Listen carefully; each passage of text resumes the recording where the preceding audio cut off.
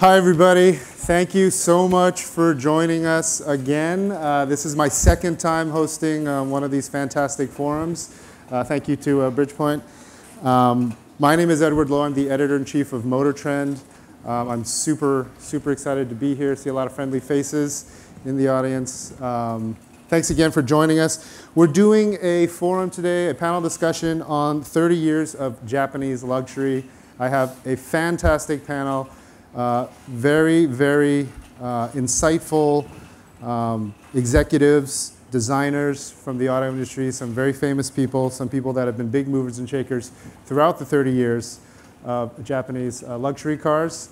And uh, I just want to get into it and give you some announcements, uh, some introductions very quickly in uh, alphabetical order. Um, Alfonso Albaisa is the Senior Vice President, Global Design for Nissan Motor Company. So Alfonso, thank you for being here.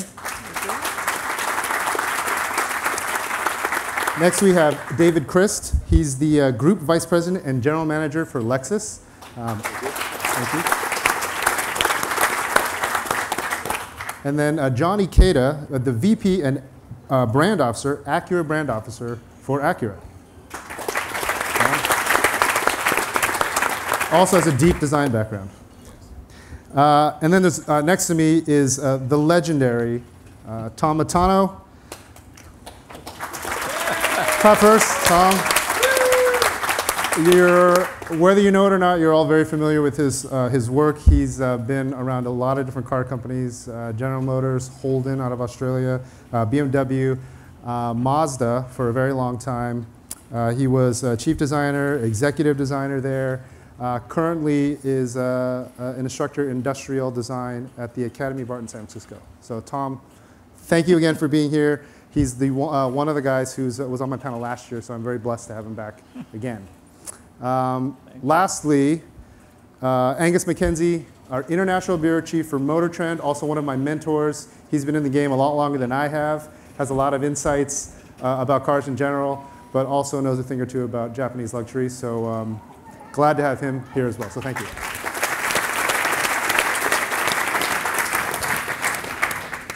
All right. We're going to just dive right into it because we have a very short amount of time and we're going to go uh, really deep, uh, really quickly, and uh, we have to be out of here by about 3.58 is my understanding. So um, we're going to go right into it. You know, Acura was founded in 1986, uh, Lexus and Infiniti in 1989. Uh, I believe Infiniti made its announcement at the North American Auto Show. It was not the North American International Auto Show, it was the show in Detroit that used to be called the Detroit Show. Uh, announcement in that January that they, Infiniti was coming into being. And then later in the year, Lexus made the announcement as well that, uh, uh, or sorry, Toyota made the announcement that Lexus would be launched as a luxury brand. Um, so we're celebrating 30 years, 30 plus years um, of the story of Japanese luxury in America.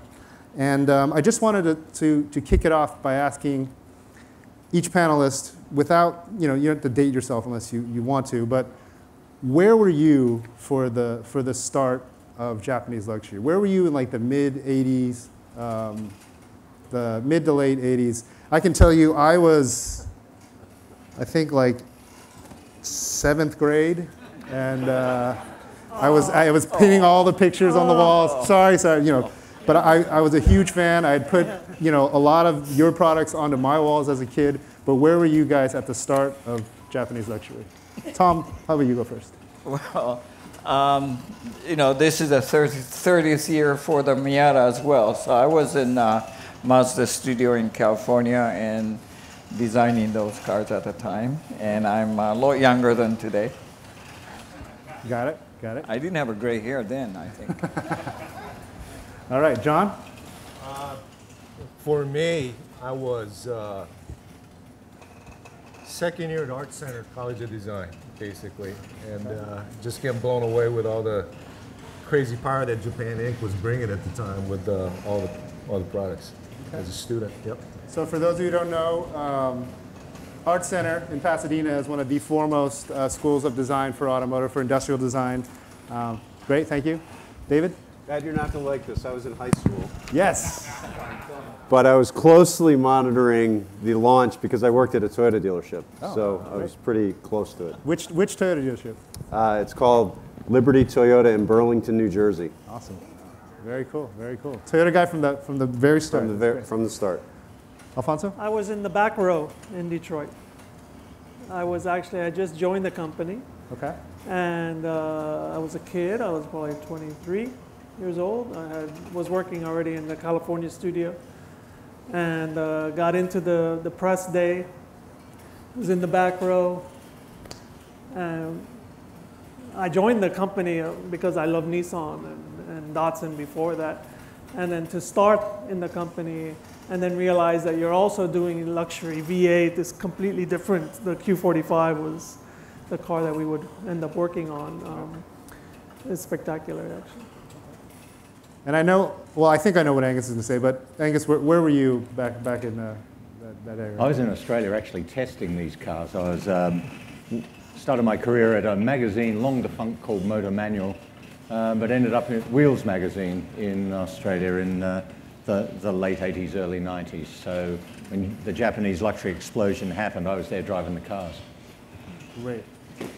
So we know where you guys were sort of physically in, in the time space realm, but uh, you know, as a follow up, um, where did Japanese luxury, uh, Japanese luxury cars, where did that segment actually begin for you? Like, what is there a moment? Is there is there a vehicle? Is there what defines it for you? Um, what would you say is like that's it? That's where it starts for me. And I'm just going to randomly go to to John with this one. Okay, well, as a student looking, you know, uh, with Acura coming on, it was, the NSX was just insane. They announced all that. And uh, from my perspective, it wasn't so much with that vehicle, uh, luxury per se, but just, it was just an insane performance uh, statement with the all-in body and everything. It was just, uh, I think it, it put a stamp of what, you know, Japan Inc. was going to bring to the table here as, as it was moving along.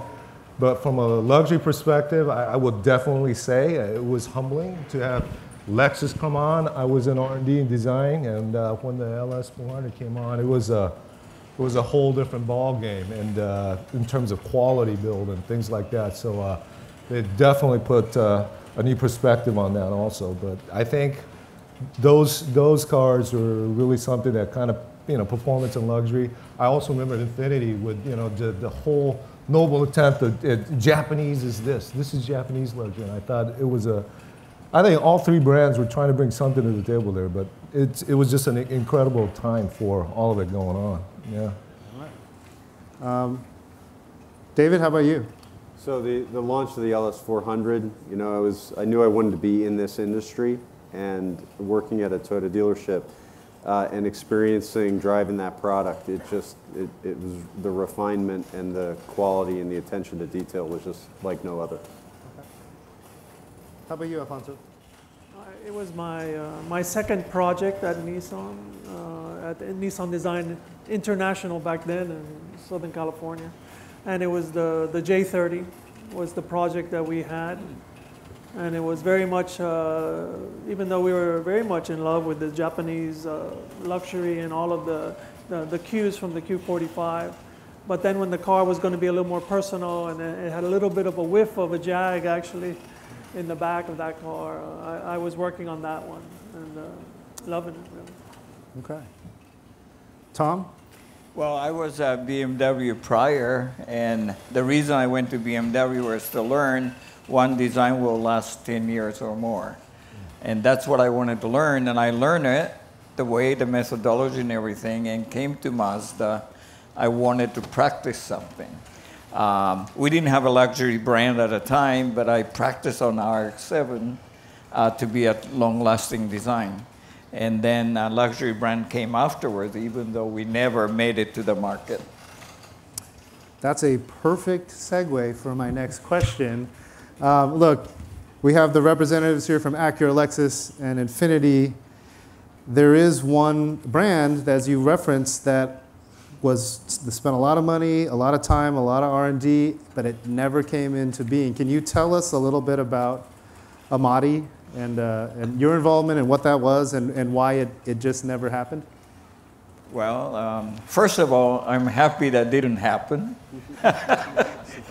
would would have killed the Mazda a long time ago. So, uh, for that reason. But uh, as a design, we did all three. You know, the the, the lower entry level, the mid class, and the top line uh, V12 uh, prototype as well. So we finished the design pretty much, and only car came. Well, the first one came out with the Millennia, that was the middle of the lineup, and then a Xedos 6 or Eunos uh, 600, the little one that went to Europe and Japan.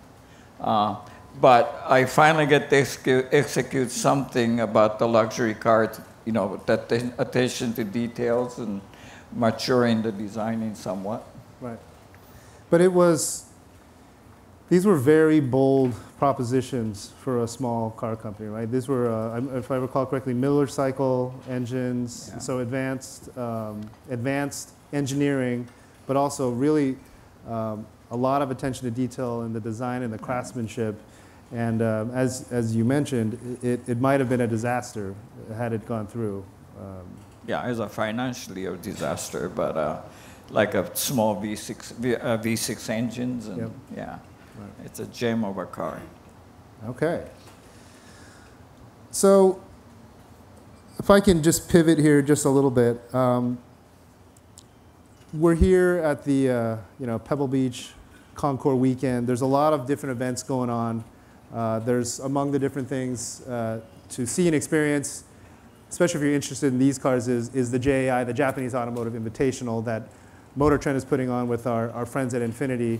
Um, you can see a lot of the cars that we've been uh, already discussed, the Q45, the LS400. Uh, you can see the J30. There's a J30 up there. There's a bunch of concept cars. Um, it's up at the top of Peter Hay Hill. It's free. I'm giving tours. Some of my team is giving tours throughout the weekend. It's a fantastic event. I encourage you to check it out. There's also a number of auctions uh, going on this weekend, tonight, tomorrow night. They've been, they've been going on. And uh, on the subject of auctions, uh, I noted with great interest that uh, Lexus LFAs now are really starting to appreciate in value. Um, Lexus might be, and you guys can correct me if I'm wrong, maybe the first of, the, of this new breed of luxury uh, mark that has a, a, real collectible on its hand with the LFA, particularly the Nürburgring edition cars, which um, have gone, I think, in excess of a million dollars at auction.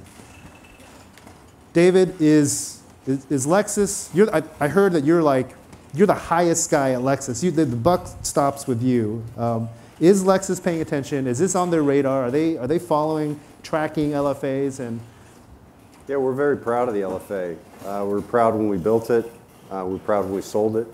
I think the auction value is just a function of uh, the car's only eight years old. You know, when you think about the history and the depth of history of supercars here, uh, that's really new. And um, the auction values are just a function of people beginning to appreciate the quality of that product. And um, we think that they're going to continue to rise over time. We only built 500 globally, and uh, the car has done nothing but impressed its owners. And we stay very close to them, and we think they're, you know, the future's bright. Um, slight counterpoint, Angus. Uh, we've talked about this quite a lot. Um, you have told me on several occasions that you know, one of the, the seminal moments for you was the, uh, the 1989 Tokyo Motor Show. Uh, why? It was, if you wanted to see the awakening of the sleeping giant that was the Japanese automotive industry, it happened, the Tokyo Show, 1989. I saw more the, LS400 was there, the NSX was there, they'd already been launched, but Toyota had things like the 4500 GT, which was a Porsche 928 wannabe as a concept car, fully running uh, prototype. It had the Sera, the gull-wing car. Subaru had the SVX, the six-cylinder car with the concept car, little windows in it and the bubble top. Um, Isuzu had a supercar, the 4200R. Um, Nissan, I think, was showing another iteration of the mid-4 all-wheel drive, uh, four-wheel steering supercar.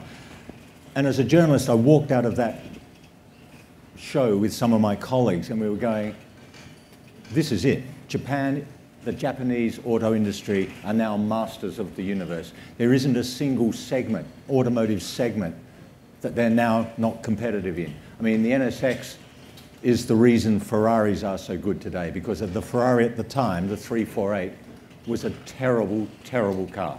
Horrible. The LS400 is the reason the W140 Mercedes-Benz S-Class arrived late and over budget and cost the head of R&D at Mercedes-Benz his job.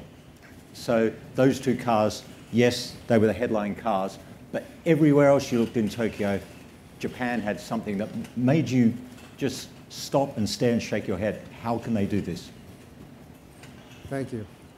Um, Tom, would you, uh, would you agree, disagree? Any, any uh, counterpoint there? Any, uh, No, that, that was, uh, you know, they've been chasing the top of the world, and then finally that point they, they sort of matched it. Right. Um, but in the meantime, they lost the direction as well. So, In what way? Well, you know, it's really good to chase the direction, but once you get up there, you have to have your own vision or something to get up to. So for a while they lost it for a while. Now looking at cards today, each one of them got a vision, and their brand established. So they're going forward with more uh, same sort of aggression as before. Okay. Well, you raise a, both of you raise a, a pretty interesting point, and I do. I'm not. I'm not picking on you, John, uh, but you know, Acura was first, you know, to the segment in '86. Um, came out with uh, the Legend, uh, Integra, which I love. The names like Acura itself, what a great name. Integra, right? Integrity, Legend. I mean, you could, these are just fantastic names. The cars were were excellent. Followed up with the NSX, and then you know, some might say there was a, a, a period of unevenness where maybe things were kind of lost a little bit. Um, you guys had a great debut yesterday of the new uh, Type S concept. Uh, you all also currently the leader in the segment with uh, RDX. It's like the best-selling, I think, luxury model. It's uh, top three, uh, I think, in volume, like overall. Um, how do you where is where is Acura now? What, what, what keeps it going forward? Like, explain yourself. Well, I mean, you know, we're 30 years old pretty much, all, all three of us here. And um, what we talk about with Acura anyways is, you know, we came out of the blocks. We did what we knew at Honda, which was performance. That's what we were. We had, those were the heydays when Senna was running around with Formula One and Prost and McLaren, all that stuff was going on. So racing was obviously in our blood, and uh, that's what all the designers and most of the engineers were focused on. And it's something that continues to be there. But I'm going to tell you, the Lexus guys came in, and uh, they took it to a whole nother level. Uh, the luxury word started to creep into our vocabulary a little bit. And uh, we started to look at things and we started to question what are we doing? Is this right? Uh, should we do this or that? Instead of we were, we were performance. That's what we wanted to do. And so we constantly talked about in the beginning, like lightweight, aluminum body. We had a show car called the FSX in the early 90s that I worked on. That was the first show car I worked on. All aluminum body. You know, that was going to be, we should go this direction and all wheel drive and all of these things were happening. But yeah, it's, uh, you know, uh, it's growing pains, right? You come out of the blocks and you're making a lot of noise, and in your 20s, you think you know what you're doing, but there's pictures of me in my 20s I'm not so proud of. You know, we talk about that all the time. No social media, so there's no record of it. But I had, I had crazy hair as a designer, right? And we had some crazy clothes. But at 30, we know we are a little bit, uh, we refocus ourselves on performance. And so you're starting to see precision crafted performance come back on the map. We relaunched the NSX, we'll race it, we got Type S on the table. That's what we're focused on now, and I think that's what we're going to stick and go with. Yeah. All right. Well, you mentioned um, crazy hair and maybe some crazy designs. Um, Alfonso, at the, uh, at the JI, there is a, a vehicle out there um, very, very much ahead of its time. It's one actually I saw uh, when I first entered into automotive publishing in the early 2000s. I, I was invited by a friend of mine who was at a PR agency and said, Hey, you got to come to this dinner. We want to show you pictures of this new concept car uh, that's coming out from Infiniti. And I said, You want me to come to a dinner to look at pictures of a car? Is the dinner free? And uh, he said, Yes. He said, All right.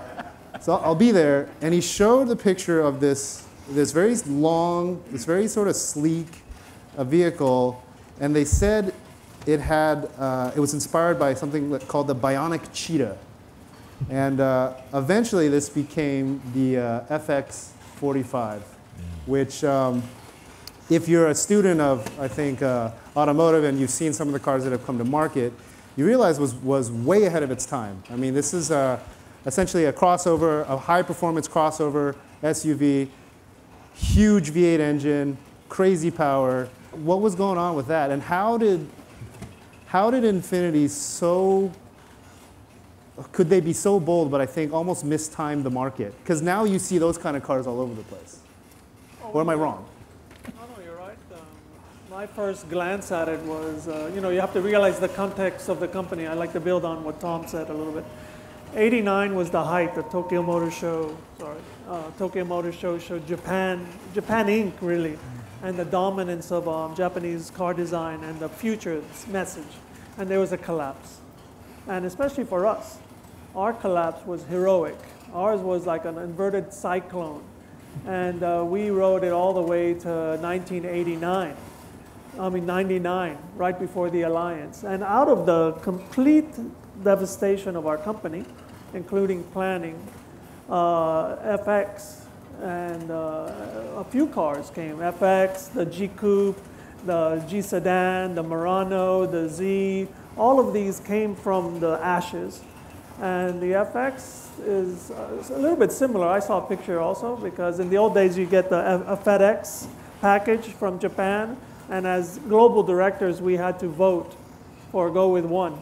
And I, and I saw the first photo, it's a crossover SUV, it looks nice. Second one, looks nice.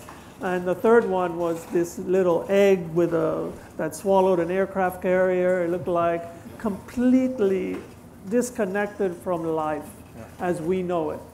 If you did a benchmarking of crossovers, which only BMW X5 and Bronco existed, and Lexus had just come out, um, it was completely alien. And, uh, and the company was in the mood to make a statement to say that Nissan Motors and especially Infiniti, that we were going to strike our, our bold path um, independent of the world. So uh, that's, it allowed the company make such a bold decision, like uh, an invention like the FX. So we're ve- very proud of that car.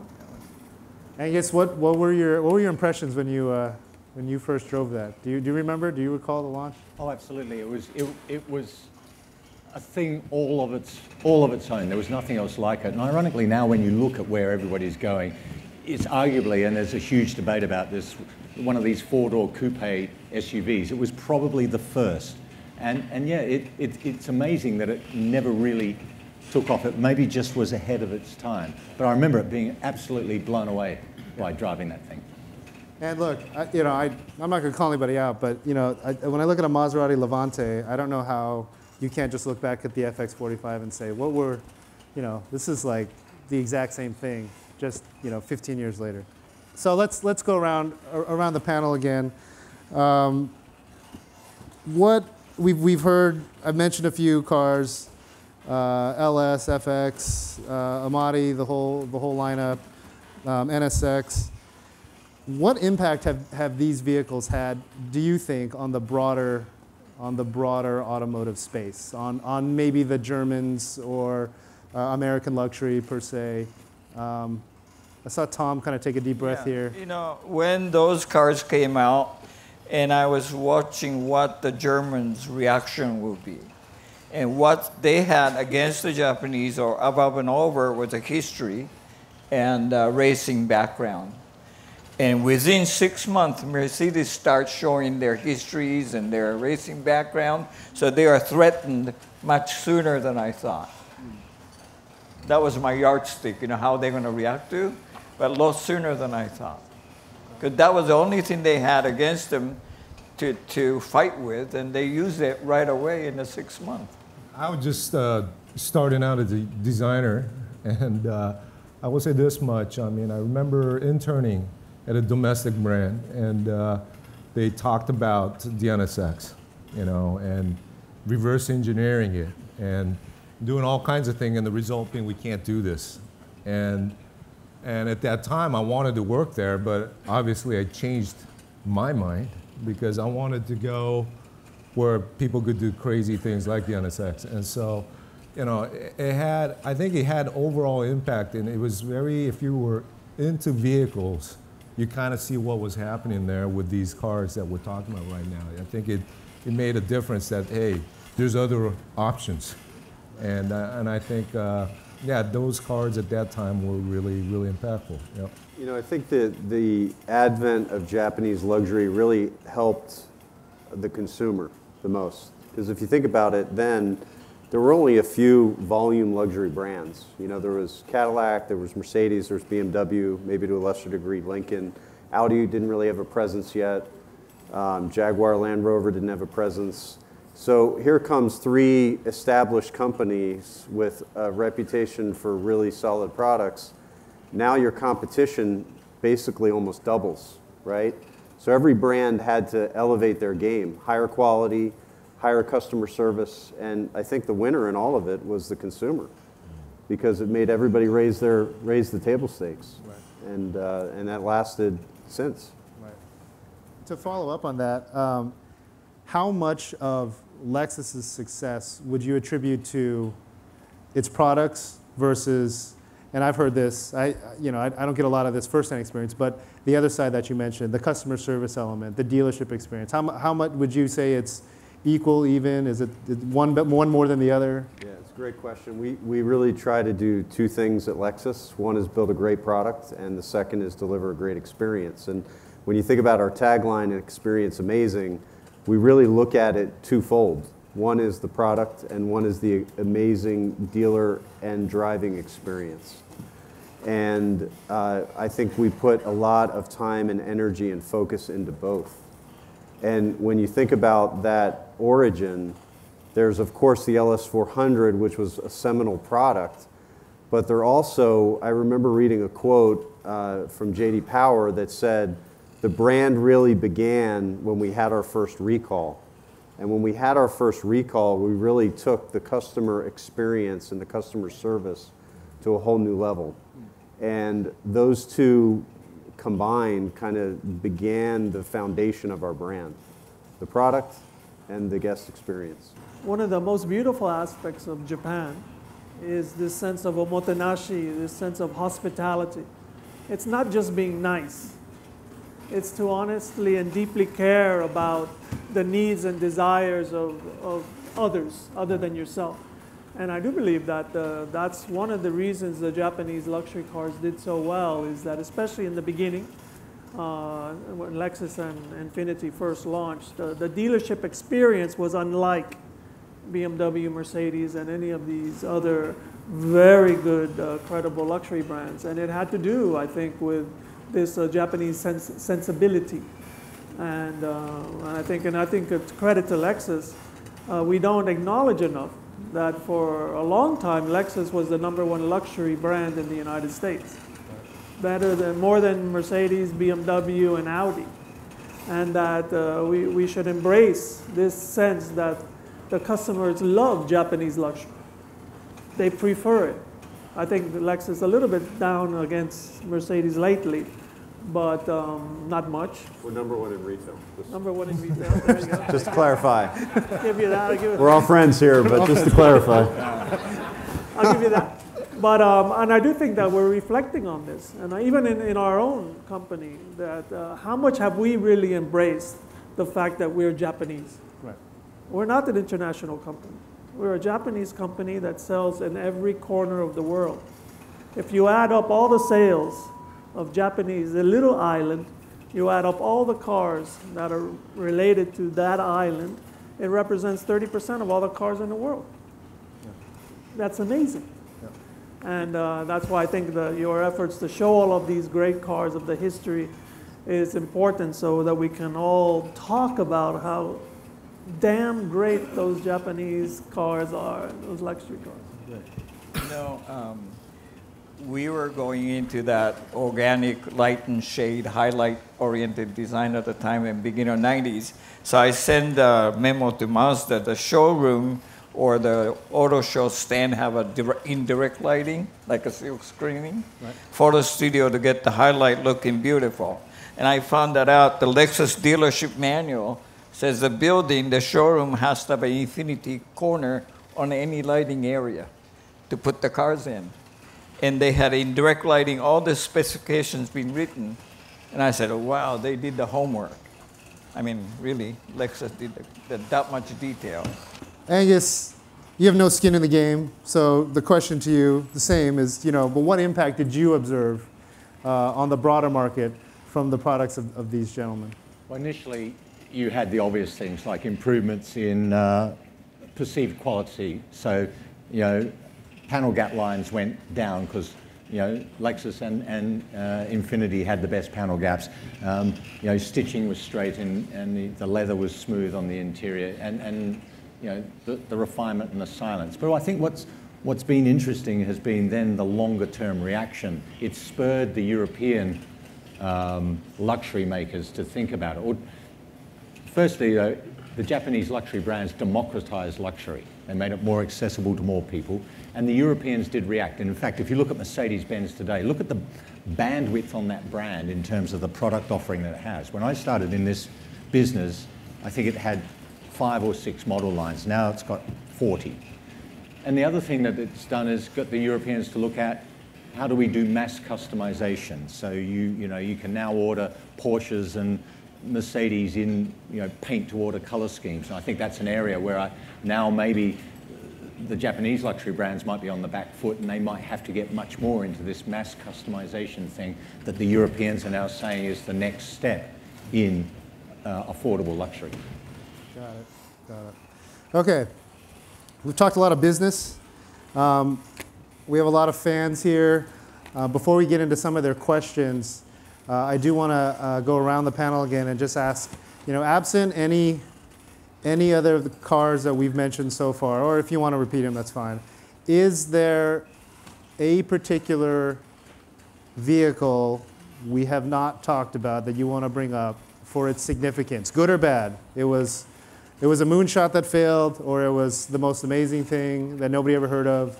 Um, what's, what's, what's one uh, vehicle that, uh, that you guys really really find special.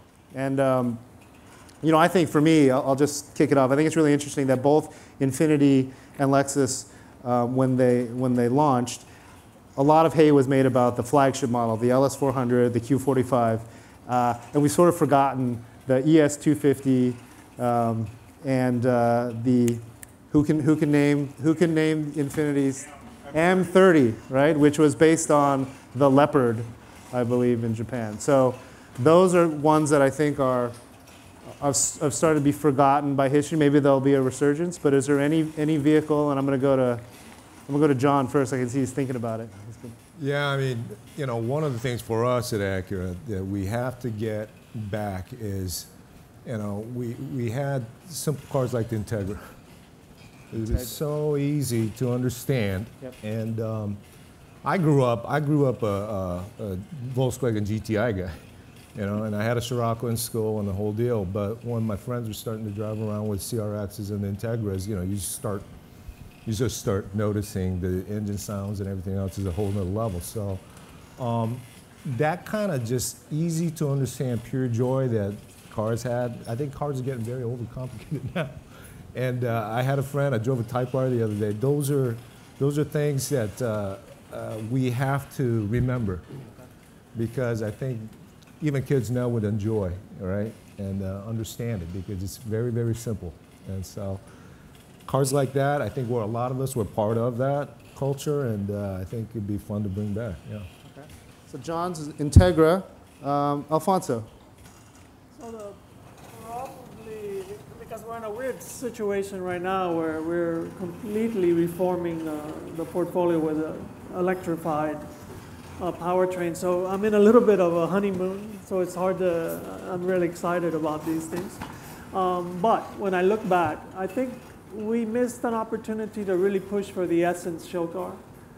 Where it's probably because in our company culture, we have our company halos, a GTR, and it's a little bit different than the Lexus situation. And um, so at the end of the day, GTR got the money and the essence, which would have been a, a- just a car that would have been wonderful. I, I do feel some guilt that I, I didn't fight for that in our in our past because this kind of Japanese uh, emotional luxury. Um, I, I still look at that car, which we keep, and I, I think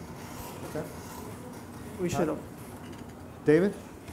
So there's a couple. We talked about the LS400, obviously, kind of started the brand. Um, w- when you think about it, the RX 300 was the first crossover luxury SUV.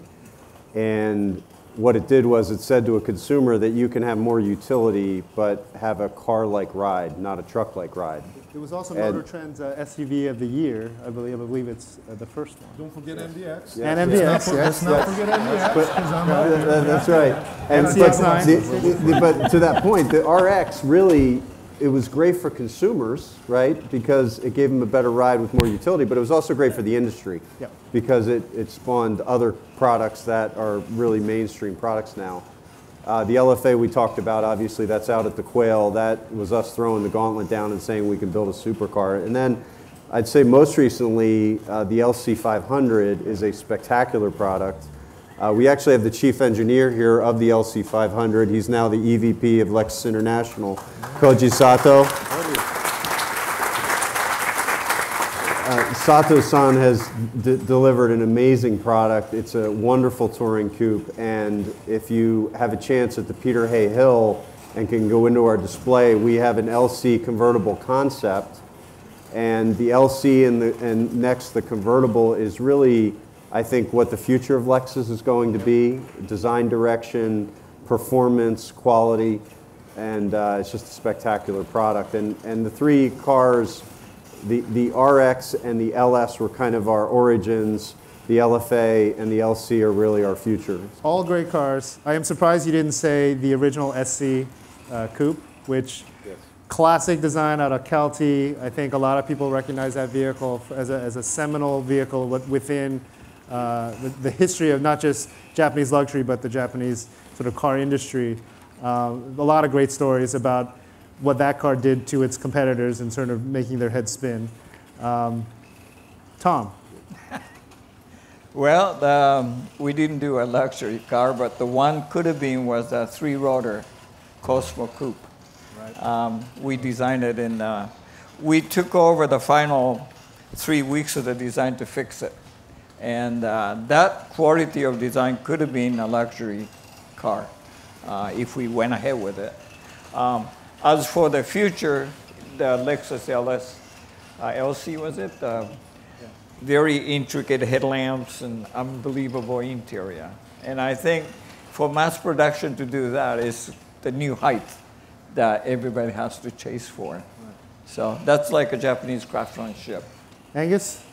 I think, uh, I think what's interesting is that the signs were there from a very early um, period, if you knew where to look, that Ja- Japan was going to do this. I mean, you go back to the 60s, cars like the Toyota 2000 GT, or even the old Toyota Centuries, which never was sold outside Japan, but were hand-built luxury limousines.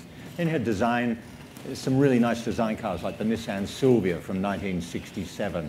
Nice uh, uh, piece of design there. And of course, the the Prince Skyline cars, which were like Japan's BMWs of the 60s.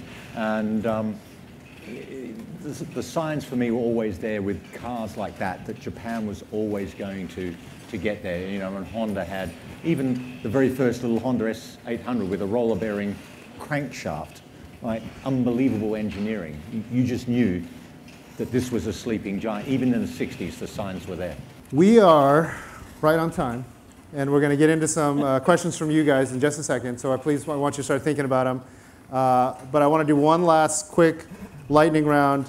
Um, okay, so the whole reason I'm here, the whole reason we're here, is because of the JAI, the Japanese Automotive Invitational.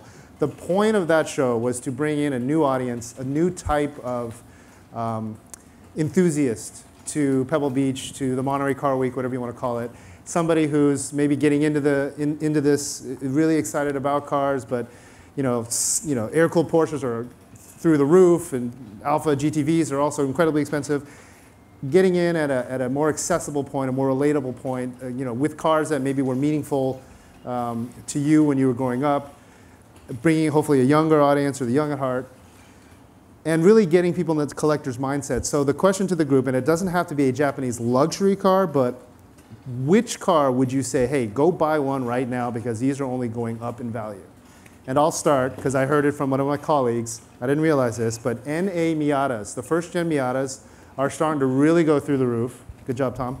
Um, people are really interested in them in, in, uh, in spec racing, uh, but also because, because of the racing side, uh, there's not many that are still cherry. Like people start to tear these things apart. So I've heard that a couple years ago you can get a nice NA uh, Miata for about $5,000. Now good luck getting one for under 10. Uh, Tom, what's one that you would say, go out and buy one right now? RX-7. RX-7. FD. F- FD or FC? FD. FD RX-7. You heard it here. FD RX-7. That's Great. me. Jon? I mean, I, I'm, a, I'm, a, I'm an integrative, passionate guy, but I mean, it's already started to go crazy Yep. with that car. Um, yeah, it's insane now. We had a lot of guys at the company that have it. Now everybody's like, that's their pension, right? They're not handing them Does off it have to anymore, be a uh, Type R? Could it be a GSR? Could be a GSR. Okay. GSR could definitely do it. Those engines are incredible, and uh, they're just fun to drive. A And so I particular color? those- I favor championship white. yes, I would go with white. Not Okay, the- good. Yep. David? So ISF, uh, you want to talk about affordable Yes, luxury? yes. It is a home run. Um, it's still reasonable in the in the collector market. Yeah. We're still selling it, but GSF, Okay. home run product, really great performance. You know, um, middle of the road pricing. ISF, the one I drove back when it launched, had silver carbon fiber. That was that was wild. Okay, Alfonso. Similar era as Tom's suggestion, but I would encourage you to also look at the two-row twin-turbo 300Z. Great, great. Two-row twin turbo, 300. Yep. And Angus, what do you think? I'm going to go way off the reservation because there's a car that's close to my heart, the Datsun 510. But if you can find a triple S, Triple S. Okay. Great, great, great. All right. Uh, I don't know if we have a microphone to pass around. Oh, you have two mics. Great.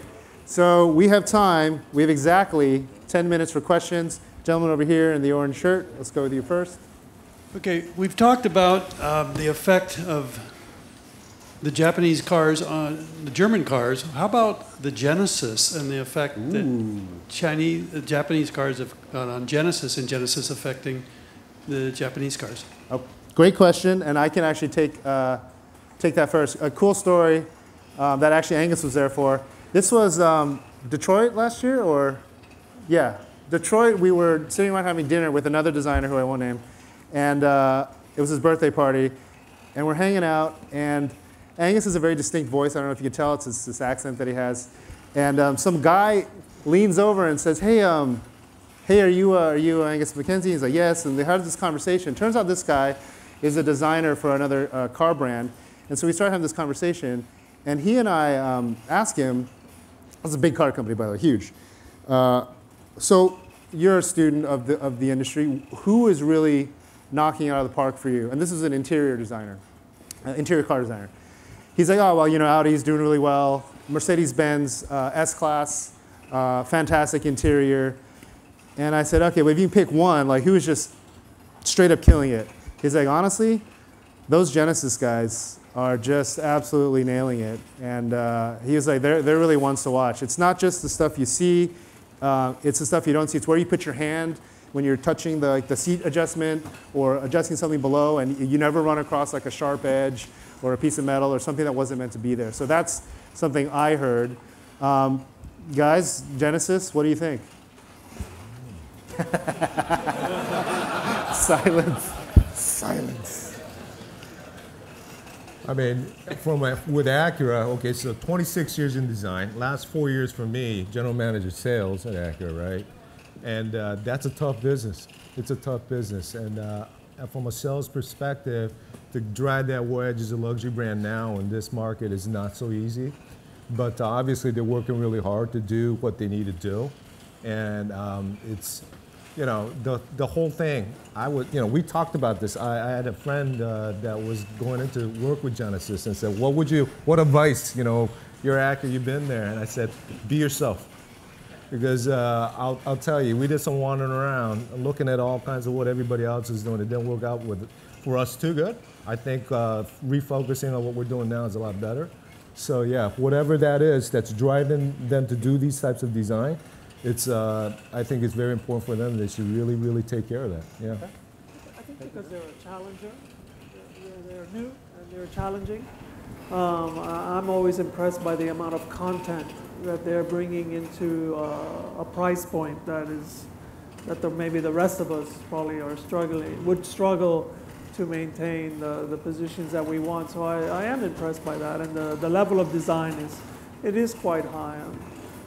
So it, it only makes all of us better. The same as your, your question is this: this ping pong back and forth between us and the Germans is actually it's becoming a 3D ping pong. And you mentioned Chinese, this is coming. So you know we're we're playing ping pong with both arms and between the legs and over the back, uh, because now the, the competition is getting is intense and, and wonderful. Really. Yeah. And I think, I think we're going to see a redefinition of, we've talked about luxury, but I think the definition of luxury has changed over the past 30 years and has moved on to something else. So, you know, if you, at one level, premium is the new mainstream. So you look at certain segments of vehicles um, where, you know, the mainstream brands like Ford and so on used to play, they simply don't have vehicles there anymore because they're all premium or luxury vehicles. So what is luxury now? And I think that's something Genesis has to figure out. Great. Second question over here. Yes. First of all, thank you very much. Very interesting. Uh, various speakers have talked about uh, uh, what happened, especially in 80, the late 80s and onwards. My question is uh, why? Uh, what was what was the goal? Probably in the mid 80s or early 80s. What was the corporate driver or the, the goal of these companies to to to flush out their line to to get revenue to uh, just what was driving it and how how important was the U.S. market in that in that goal? It's a great question. Um, I, I know only a little bit of the history, and I, I, think I hope David can help me with this. But I understand that the the launch of, if you look at it as Lexus as being the one that kind of uh, kicked it off in, with the most, the deepest impact. Toyota had that was a 10-year study, I believe, right? Like a, maybe it was like a billion dollar. They spent. They were buying homes in luxurious neighborhoods and like spying on people in the maybe not exactly that, but looking at what people were driving and how they were interacting with their cars and what they were what they were doing. And it was a massive investment. They launched their own ad agency through uh, Saatchi, I believe, that was just devoted to crafting this brand. And they went through the whole naming convention. It was actually supposed to be at one point Luxus, right? It, was an, it wasn't LEX, it was, I think, LUXUS. And, um, you know, I think if you look at automotive, the automotive industry, it's always been um, kind of the, the strategy led by, by General Motors, where it was a good, better, best. And Toyota for a long time had good and really good. And they said, well, if we can build these, why can't we build the next level? And then after that, bring in a level below, which, which ended up being Scion for a while. Um, that's my sort of quick overview. I did I get it right, David? Yeah, you know, I think there were two primary drivers. The first was um, at that time, the Toyota Cressida was the top and most expensive Toyota sold in the U.S. Customers were leaving that car, and we had no, we had nothing to offer them. So it was that customer retention, keeping them in the family, in the brand. It was difficult to imagine building a more expensive Toyota than that. So the next logical step was luxury, and it was a segment we weren't in. Uh, the second is just sure, I'm sure there was a pure business and practical side of it is, you know, more brands, more volume is good. We can lower fixed costs, et cetera. But the customers defecting, I think, was the primary driver. Very, very concerning at that time. That's great. Yeah, and, and uh, um, the audio area, Technics, the Panasonic is a common brand, and then they went to the high-end brand is Technics right. for Panasonic, uh, Matsushita, and then other one. So they felt that changing the name could bring the brand value higher for the pre, you know more profit margins and Not, all. not And- just, yeah. Yeah, and a name like Toyota, Mazda, Nissan have a thirty thousand dollar limit that they could go to, like hit the ceiling in a people's mind. Right. So, Which is also why they did completely separate dealerships and, and made that part of the, the business model. Because, you know, just, just don't even tell people that these are related. Like, why, well, you don't need to. So don't confuse them. I think, the, I think the reliance on research is a very interesting point too, because it's almost as if the Japanese automakers were observing a foreign species and trying to understand how it worked. And it, it led to one of, the, one of the flaws with the Japanese approach to luxury. And I remember when the LS400, the second generation car, came out, I said, well, why don't you have an LS600 and an LS300? In other words, a six cylinder car and a 12 cylinder car like Mercedes Benz does. And there, the answer back to me was, well, we have researched the market, and a four, four litre V8 is what the market is, is most what the market most needs. And I said, well, this isn't the business not about what the market needs, but what the market wants. There might be people who want a six-cylinder engine. There are certainly people who would want a 12-cylinder engine. So there wasn't quite the intuitive feel for luxury at the beginning. It was very much a, a synthesized process. If I can, if I can add to that, in, in, in our company, because um, for us, even though Infiniti is 30 years old, but actually Infiniti is Prince. Right. Uh, the, the rear wheel drive platform, the engineers, all of those folks that worked for that performance luxury Japanese company were brought into the mothership when we, uh, when we bought Prince. And so it was always natural. It's just like Tom mentioned, we were just, we were lucky that it was a time when Japan was in the surge of its economic growth and the opportunity came and that we can finally bring our luxury uh, dreams to the, the marketplace. But we have had them for a very, very long time, since the 60s. And uh, the Cedric and the Gloria in Japan are from Prince, actually. And the Skyline, the, which is a Q50, is a, is a very old name in the company.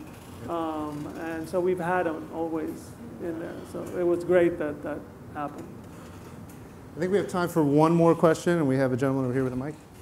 Thank you. Um, so, while not considered a luxury brand, the 240Z came out at a time when American models were changing every year.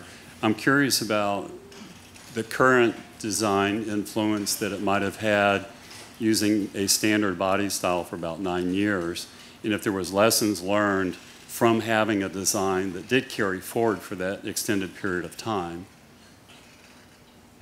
It's probably Alfonso. Are you? I mean, Definitely. Uh, we are under, all of us are under great pressure. The, the customer themselves are becoming a bit antsy. And because as uh, transactions are more and more lease, uh, no one wants to lease the same car twice. There is this pressure. The, the days of a nine-year model life is, is probably behind us, and, except maybe some rare ultra-luxury car trucks. Um, but we adapt. I mean, it's a, as a designer, we're, we're always, you know, we're, trying to streamline our process to be able to bring cars to a five-year type of life cycle. But um, it, I, I think that is a bit gone. With the, even the 240, we, we don't remember the fact that it got very tired at the end. It probably should have had a little bit less of a life. All right. Well, we are right on time. We have to be out hard stop at four. So I do want to thank you all for joining us. Um, thank you to the panelists. You guys were awesome. Thank you so much. Um, and again, if you want to see a lot of the cars we talked about and talk to some of us, we'll be out there. It's the top of Peter Hay Hill. It's the Japanese Automotive Invitational presented by our partners Infiniti and Motor Trend. Please come up and say hello. Love to chat with you guys. Thank you again for joining us.